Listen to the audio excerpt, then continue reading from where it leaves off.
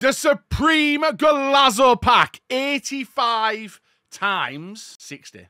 That is what it is. It's a beautiful pack. I've seen a lot of them on uh, on TikTok, Instagram, and on Twitch. And we're going to open ours today and see what we get. I want to see Cruyff, Cafu at least.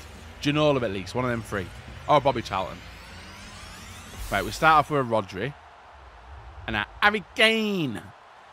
So they're absolutely trash. In form. Nice. Nice.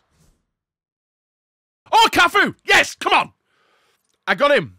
Wait, is that worth it? I still don't, I don't know if that's worth it or not, guys. I got Cafu, though. Cafu, Prince, Okocha. I don't know if that's a good one or not. Koundé's there as well. Anyone else? Because I know I've got some players in my club. Oh, the better Prince. 93 Berbatov and Collar as well.